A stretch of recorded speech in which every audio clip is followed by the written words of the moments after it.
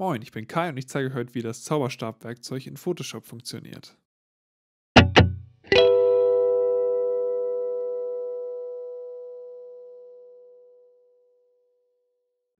Der Zauberstab ist äh, in Photoshop dazu da, ganz große Flächen schnell auszuwählen. Das heißt, wenn ich jetzt einfach reinklicke, seht ihr, da wird ein ganz großer Farbbereich ausgewählt. Und das funktioniert so, dass dieser Zauberstab das Bild in schwarz-weiß sieht, also so. Und ähm, von dem Punkt, den ich auswähle, hat er halt einen Toleranzbereich, ähm, in dem die Farbtöne ausgewählt werden. Das heißt, wenn ich jetzt ganz schwarz habe, dann wählt er alles in diesem Toleranzbereich, bis es ein bisschen heller ist sozusagen.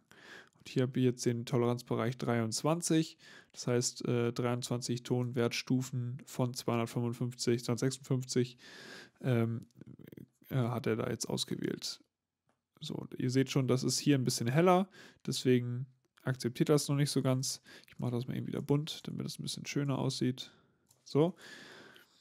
Wenn ich jetzt die Toleranz auf 0 mache, dann hat er wirklich nur einzelne Pixel ausgewählt.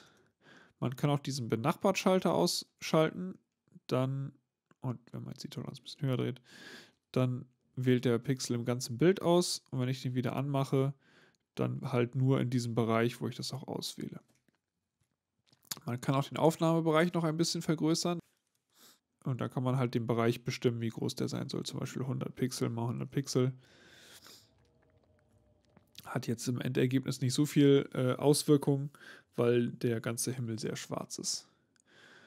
So, es gibt aber noch eine andere Möglichkeit, so schnell so eine Auswahl zu machen. Das ist hier das Schnellauswahlwerkzeug. Das ist schon, wie der Name sagt, schnell.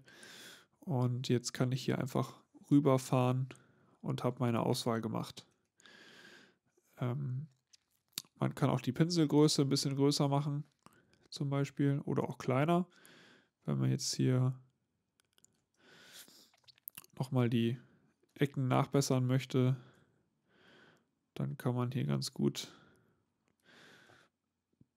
den Pinsel kleiner machen. Ihr seht auch, dass ich hier, wenn ich Alt gedrückt halte, dann wechselt das von Plus zu Minus. Das bedeutet, wenn ich jetzt das Plus habe und drücke, dann wird, werden immer Bereiche hinzugefügt und mit dem Minus halt wieder abgezogen von der ausgewählten Fläche. So, jetzt haben wir unseren Himmel aber einigermaßen gut ausgewählt. Das reicht jetzt erstmal. Ähm, jetzt erstellen wir schnell eine Maske, indem wir hier unten auf das Maskensymbol klicken. Äh, die ist jetzt leider falsch rum, die Maske, aber das lässt sich sehr schnell beheben, indem man Apfel I drückt. Dann wird die Auswahl umgekehrt die Maske umgekehrt. Und jetzt können wir unseren neuen Himmel hier reinziehen. Äh, nee, der ist es.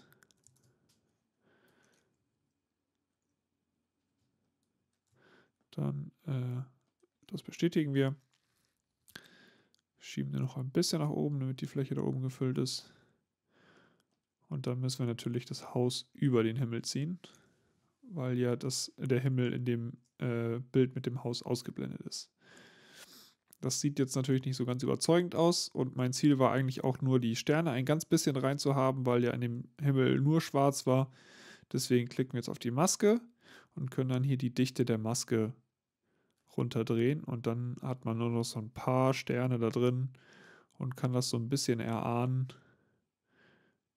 Und das gibt dem Bild natürlich schon ein bisschen mehr Flair. Ich hoffe, dass euch das weitergeholfen hat und würde mich freuen, wenn ihr meinen Kanal abonniert. Vielen Dank.